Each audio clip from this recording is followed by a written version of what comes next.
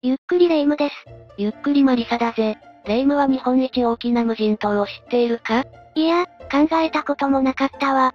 離島ってイメージ的には南の方にあるイメージがあるから、沖縄とか伊豆諸島とか、そっちの方にある島かしら？いや、実は日本一大きな無人島は北海道にある、渡島大島なんだ。北海道、本島も日本一の面積だけど離島でも日本一の大きさなのね。この島は何かと注目される島で、昔に起きた大噴火で、北海道のみならず、日本全土約2を超えて恐怖に陥れた過去もあるんだぜ。存在感のある無人島ね。そしてこの島の近所にある渡島小島は、北朝鮮とも深く関わりのある島なんだぜ。あの北朝鮮と関わりのある無人島ワクワクするワードがたくさんだわ。そうだな。今回は、日本一の面積を誇る無人島、渡島大島についてや、渡島小島の北朝鮮との関わり、火山活動や建設された港についてもわかりやすく紹介していくぜ。よろしくお願いします。それでは、ゆっくりしていってね。まずは渡島大島について説明していくぜ。よろしくお願いします。渡島大島は、北海道松前郡松前町に属する無人島だ。松前大島とも呼ばれている。松前町西方沖50キロの地点に位置する。渡島大島の面積は、約9.73平方キロメートルで、日本の市政下で最大の無人島だ。島は北に開いた馬蹄形カルデラと、その中に形成された大きなスコリア級からなる火山であり、最高峰はエラ岳、737メートルだ。海底から見ると2000メートル近い高さになる。半分以上海底にあるのね。ああ、島の西端は、統計139度20分16秒で、北海道の最西端にあたる。島の周囲の海底は急深で、魚岸約500メートルで水深100メートルとなる。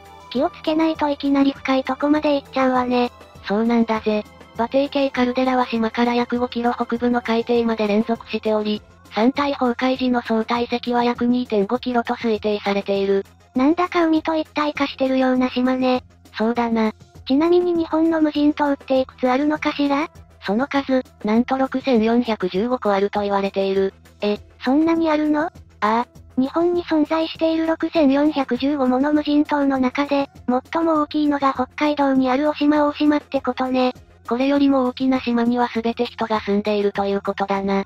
ちなみに、渡島大島と同じく北海道にある手売島、八木尻島は、渡島大島の半分ほどの面積しかないにもかかわらず、人が住んでいる。どれぐらいの人が住んでいるの？手売島の人口は約300人、八木尻島の人口は約200人だ。そうなのね。じゃあ、なんで渡島大島は無人島なのかしら？渡島大島がなぜ無人島かというのは、はっきりとした理由は実はよくわかっていないんだ。最も有力と言われている理由は、本土から渡島大島までおよそ50キロと離れすぎているからではないかというものだ。まあ、それは確かにありそうね。ちょっとそこまで、と、気軽に行けるような距離じゃないもの。もしも大島大島だけしか入手できないような、珍しい何かがあれば無人島ではなかったのかもしれないわね。確かにそうだな。他にも、渡島大島はほとんどが山岳地帯で、住居として生活するのが難しいからではないか。というのも、無人島の理由として挙げられている。平地で穏やかに過ごせるような環境ではなさそうね。その通りだぜ。そんな渡島大島には、豊かな自然が広がっている。日本国指定の天然記念物に指定されている、大水なぎ鳥の繁殖地だ。大水なぎ鳥？ああ、名前の由来は、海面を低く体を左右に傾けて飛ぶ姿から付けられている。遠目から見るとかっこいいが、予測できない動きをするため、身近で見ると怖そうだ。動画で探してみてみるわ。そうしてくれ。この大水なぎ鳥は国内でも繁殖地が非常に少なく、渡島大島は国内で唯一の保護指定地として認定されている。まさに、大水なぎ鳥にとってかけがえのない場所なのね。ああ、しかし、1930年代頃に人間が渡島大島にウサギを持ち込み、そのウサギが爆発的に増殖し、あろうことか大水なぎ鳥の巣を占領してしまったんだ。ウサギそれによって、大水なぎ鳥の生息数は激減してしまったままだ。天然記念物なのに、ひどいわ。でも、大島大島に持ち込まれたウサギもおそらく、人によって捨てられたウサギだから、ウサギ側からすればウサギも被害者だと主張するだろうな。そうよね。さらに近年、港の整備により大島大島の上陸が以前より簡単になってきており、これによって、さらに大島大島の自然環境、大水なぎ鳥の生態系に影響が出るのでは？と危惧されている現状だ。どうして人は次々と本来の生態系を壊していってしまうのかしら。私たち人間って、愚かだよな。ほんとね。そんな大島大島は離島である上に無人島であるため、噴火活動の記録はほとんど残されていないんだが、過去にとんでもない大きな噴火の歴史がある。数少ない記録にあるのが、1741年漢方元年8月27日の漢方岳の大噴火だ。この噴火によって起きた大災害が、漢方津波だ。津波って本当に怖いわよね。どんな津波だったのかしら ?1741 年8月29日、漢方元年7月19日未明に日本海で発生した大津波だ。大島大島で起きた噴火による、山体崩壊が原因とされる。山体崩壊？山体崩壊とは、火山などに代表される脆弱な地質条件の山体の一部が地震動や噴火、深層風化などが引き金となって大規模な崩壊を起こす現象だ。まだよくわからないわ。詳しく説明していくぜ。火山活動によって火山が成長をするに従って、急峻で不安定な地形が生み出されることになる。また火山の成立から時間が経過する中で、風化作用や火山体内部での熱水作用などの結果、火山そのものが脆く崩れやすくなっていく。そのような中、強い地震動や噴火が引き金となって、火山体の一部が大規模に崩壊する山体崩壊が発生する。そんなことがあるのね。ああ、山体崩壊時には崩壊した火山体が、麓に向かって一気になだれ落ちる岩雪なだれという現象が発生し、その結果、火山そのものは大きく崩壊し、岩雪なだれが堆積した場所には、崩落した火山体の中で、バラバラになりきらなかった部分が多数の小さな丘を作る。これを流れ山と呼ぶ。崩壊した山体があった場所には U 字状の大きな窪地が生じ、これを馬蹄形カルデラと呼ぶ。お島大島にある馬蹄形カルデラは、この時にできたものかもしれないのね。そうなんだぜ。山体崩壊は噴火と比べると発生回数が少なく、比較的稀な現象ではあるが、これまで多くの火山で発生しており、一つの火山で複数回発生することも稀ではない。またかつては火山の一生の末期に発生すると考えられていたが、紀元前500から800年頃に発生したとみられる、富士山の御殿場岩なだれなどのように、必ずしもそうとは限らない。いつまた起こってもおかしくないってことね。その通りだぜ。漢方津波も、大島大島の噴火に伴う山体崩壊、含む海面下部分が原因とされているんだ。津波は北海道道南地方日本海沿岸から島根県沿岸にかけて、また朝鮮、高原道にも到達した。津波の被害範囲、そんなに？広すぎるわ。ああ、被害もその分相当のものだったようだが、特に松前藩での死者数は2083人に上り、大災害だった。日本海側での津波としては史上最大級のものとされるんだ。島根まで、って本当に広い範囲だったのね。そうなんだぜ。噴火も怖いけど、こういった二次災害も怖いから、震災には十分気をつけないと、って改めて思うわね。その通りだぜ。日本最大の無人島には、遊びに行けたりするのかしら？島は国の天然記念物に指定されていて自然環境保全のため、上陸には文化庁などの許可が必要で、残念ながら一般人が観光目的で行ける場所ではないんだ。そうなのね、残念。火山活動もあるから、いつ噴火するかもわからないしな。そうね。だが、天気のいい日は松前町営牧場の展望台から見ることができたり、小樽新潟間のフェリーの船上からは夕日に染まる姿を見ることができるんだ。運が良ければ遠目から見ることはできるのね。ああ、実は大島大島近海で操業する漁船が多いため、漁業の前進基地及び、海が荒れた場合の避難所として、約10年間をかけて、東東部鳥カラス浜に漁港が建設されているんだ。何かあった時に船が避難できるように、ってことね。無人島もそういう使い方もできるのね。そうなんだぜ。最後の噴火から280年ほど経っている旧火山の中腹に避難港を作っているため、極めて難しい工事だったそうだ。今では工事ヤードができたり、少しずつ防波堤などができて、現在では行き来も含めて随分楽になったそうだが、初めの頃は本当に命がけだったみたいなんだぜ。何もないところから作るってかなり大変よね。ああ、最初は、工事資材を運ぶ台船に乗ると、片道6時間もかかったそうだが、最近は近海号という船足の速い船を使っているから、1時間半ほどで渡ることもできるようになったそうだ。だいぶ時短されたわね。そうだな。無人島は、避難のためにっていう使い方もできるのね。何かあった時に、この港を作っておいてよかった、となるといいわね。そうだな。松前漁港では、本マグロがかなり有名なんだ。そういった漁船が大島の周りには多くいるから、万が一の時に役立つといいな。そうね。次は、同じ松前郡松前町に属する無人島、大島小島について紹介していくぜ。よろしくお願いします。大島小島は、北海道松前郡松前町に属する無人島で、松前町の沖約24キロ付近に位置している。面積は1.54平方キロメートルで、周囲約4キロメートルの非常に小さな島だ。島の南端は北緯41度20分58秒であり、離島も含めた広義の北海道最南端だ。さっきの大島大島に比べたら、だいぶ小さいわね。そうなんだぜ。大島小島も自然豊かで、ケイマフリや海ウ、海猫等の海鳥の繁殖地であり、カエデ科の板やカエデ類が優先する林や、冷温耐性の草原が発達している。このことから、松前小島の名称で天然記念物、天然保護区域に指定されているんだ。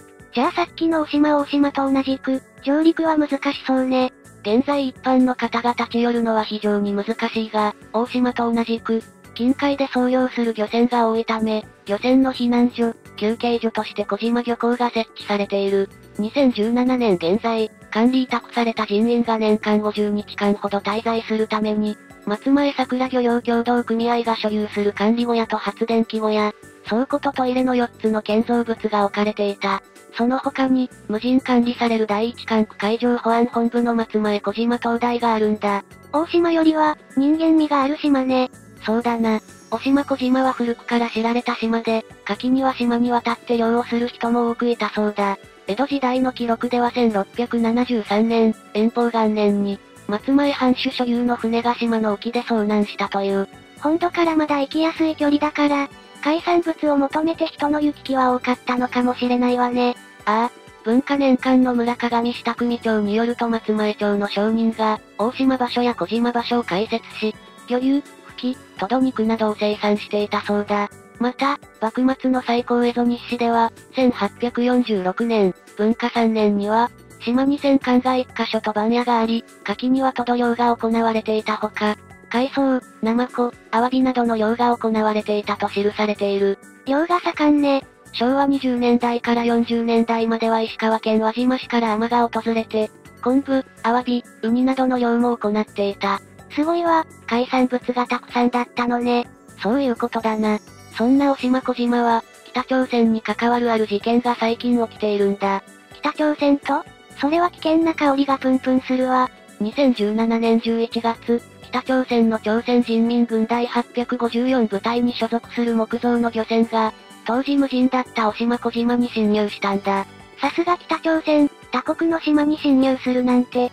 10人の搭乗員が10日間ほどの間に、島内の施錠してあった海上保安庁の東大施設や漁協の管理後や、発電施設に入り、テレビ、バイク、冷蔵庫など金目の家電製品と1ヶ月分の食料のすべて、燃料を入れていたタンクや衣類等の多数を摂取し、ボイラーや太陽発電装置などを破壊したんだ。盗んで持っていくだけじゃなくて、壊していくなんて、なんてひどい奴らなの。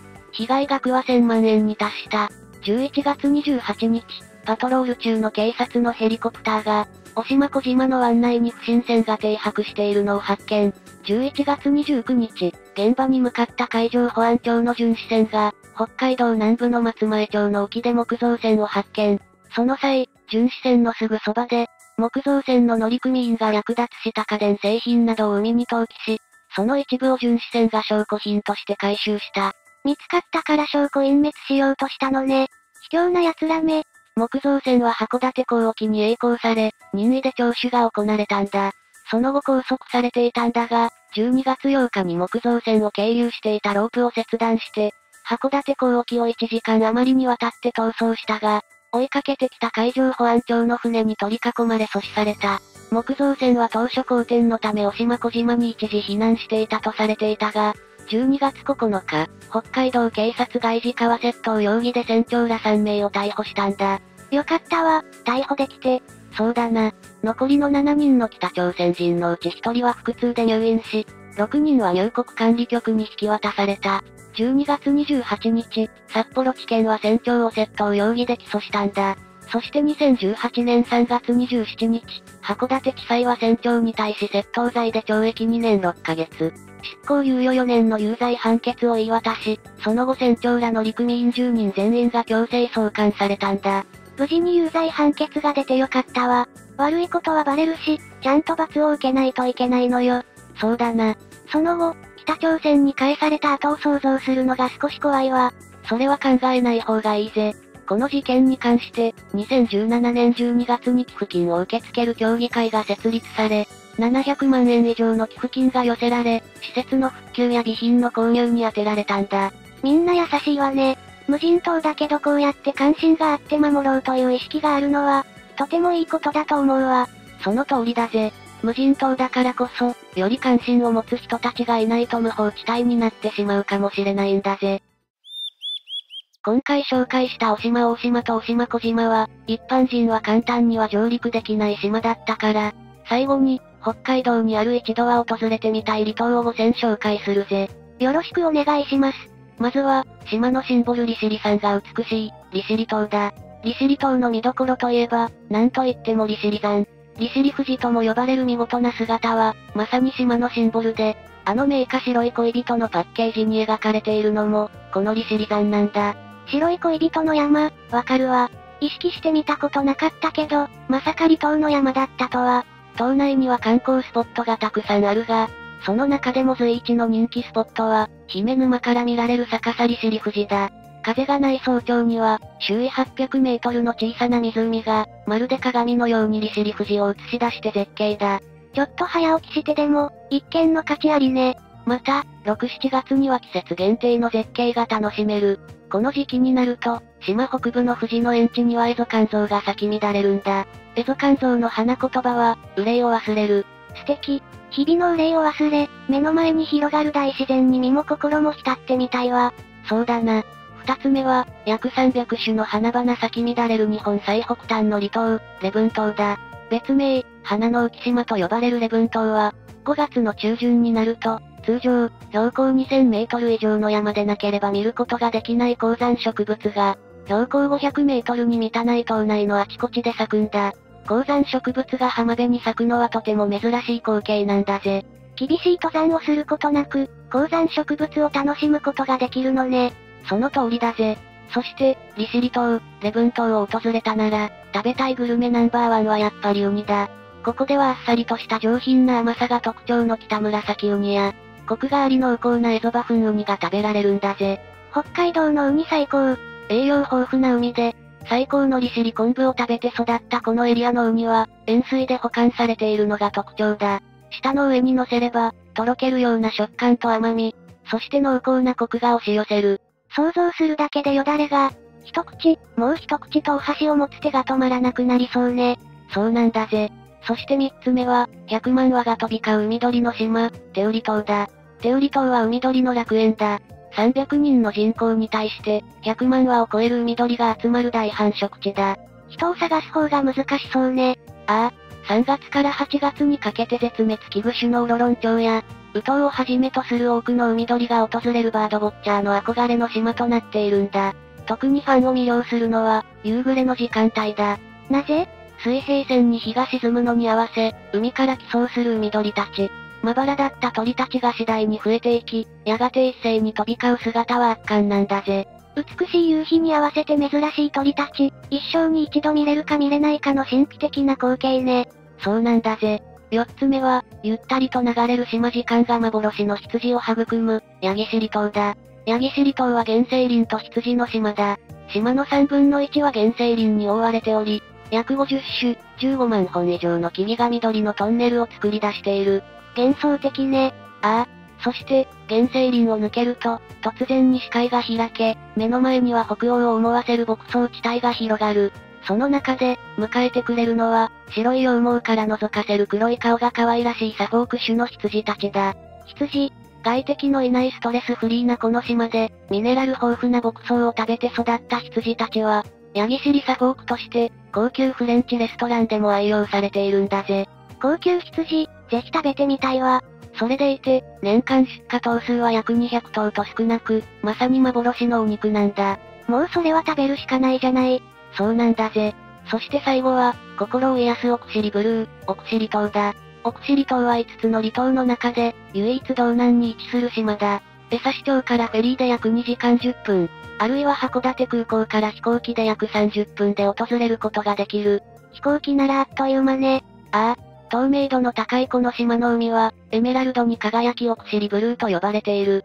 この海の美しさを堪能するには、ウィンドサーフィンやカヤック、サップなどのマリンスポーツが最適だ。マリンスポーツ、長期休暇とかに遊びに行きたいわね。ああ、そしてこの島の魅力の一つが、豊富なグルメだ。今では北海道の郷土料理として知られる、三平汁の発祥もこの奥尻島だと言われているんだ。発祥の地で食べるのも、粋ね。そうだな。特におすすめしたいのがホッケだ。ホッケは鮮度が落ちるスピードが速いため、一般的には開きなどの形で食べられている。だが、ここ奥尻島では新鮮なホッケが手に入るため、ホッケのしゃぶしゃぶが一般的な家庭料理として根付いているんだ。何それ、初めて聞いたわ。ホッケは焼いて食べるものだと思ってた。だよな。そんな珍しい食べ方ができるのも、奥尻島ならではの楽しみだな。北海道の離島、次の休みに行きたくなったわ。今回の、日本一の面積を誇る無人島、渡島大島についてや、渡島小島の北朝鮮との関わり、火山活動や建設された港に関する説明を聞いてどう思った？日本一の無人島が起こした昔の噴火による災害は、歴史に残る大災害だったことに驚いたし、無人島だけど避難用の港があるのもいい活用方法だと思ったわ。北朝鮮のこともあったし、無人島だからこそ、より関心を持たないといけないと思ったわ。そうだな。ということで、日本一の面積を誇る無人島、渡島大島についてや、渡島小島の北朝鮮との関わり、火山活動や建設された港についての解説は以上だぜ。ご視聴いただきありがとうございました。今後も様々な情報を発信していくから、ぜひ高評価、チャンネル登録をしてくれよな。こんな島について解説してほしいというコメントも待っているわよ。それではご視聴、ありがとうございました。